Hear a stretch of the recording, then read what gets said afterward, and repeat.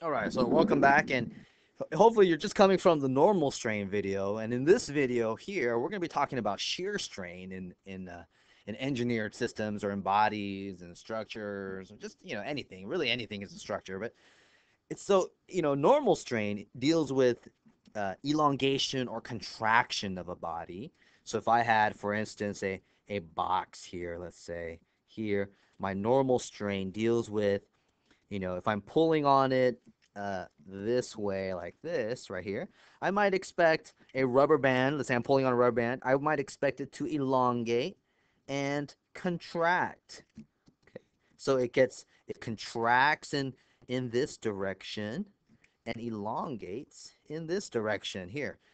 And that's normal strain. This this normal these normal uh, deformations. These deformations that are perpendicular to various axes. So for instance, here this might be the x-axis here, elongation in the x and elongation in the y. Okay, in the y or contraction in the y direction. Now, with shear strain, shear strain would involve, let's say for instance, I have this fixed element here and as you as maybe you noticed in the previous video, the shear strain is associated typically with shear stress, right? It's associated with shear stress. And here I have if I'm applying an applied load on the outside here, causing this say this element that's connected here, you know, what happens is I have not necessarily an elongation, I don't have an elongation, but rather I have an angle change that occurs. So here, here, here, these angle changes occur, which is uh, which which is really associated with shear strain. And so shear strain, by definition, shear strain is the angle change, angle change, angle change between two line segments.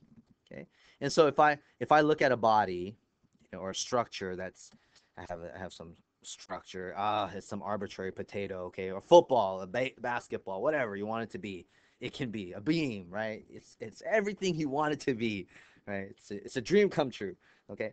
And anyways, if I if I look at that and I look at a line segment, just like we were doing before, if I look at line segments, two line segments right here, and let's say this line segment here, these line segments, I'll call this uh, A, B, and C are initially perpendicular, okay? Initially perpendicular, which which is pi over 2 in radians right here, this line segment, okay? And it has, let's say, these axes here. We'll say it has like x and y axes or something. x, y, okay?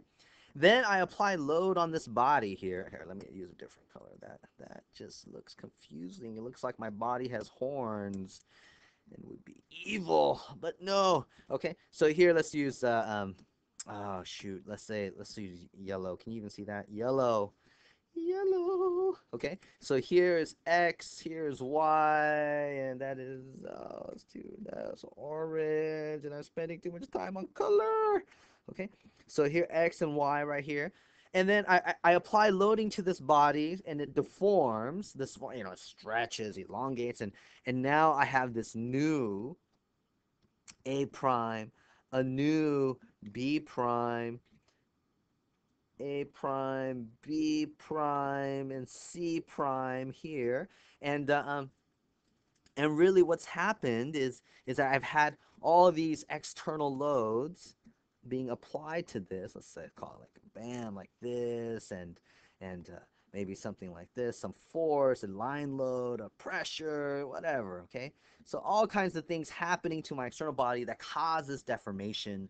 There are normal strains here as well as shear strains. And when I look at this segment here this AB I notice this angle now this I have this new angle which I will call theta prime this new angle which is no longer 90 And, you know the old 90 was somewhere you know over here put in light green, you know, somewhere over here was this original A, B, C, okay, and this was 90.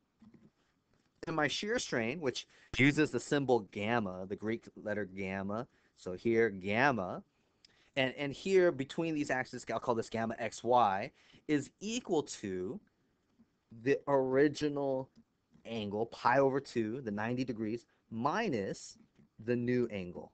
Okay, it's a change in angle that occurs, and this is typically in units of radians, and you can do also you can convert it into degrees if you wanted to later. So you would have in degrees it would be you know um, pi over 2 is 90 degrees minus theta prime in degrees okay in degrees. But but this right here is really the the common equation that's used the shear strain pi over 2 minus theta prime.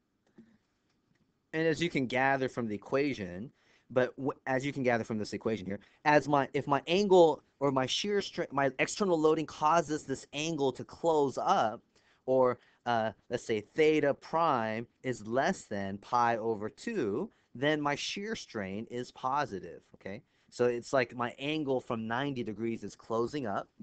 And or if theta prime is greater than pi over 2, then my shear strain is negative or less than 0, and which means that my my angle or my my this, you know, this 90 degrees is opening up, is becoming greater than 90.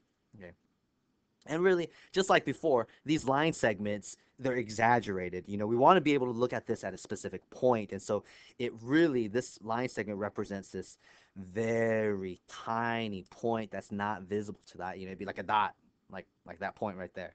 All right, so we, we would say the shear strain at that point.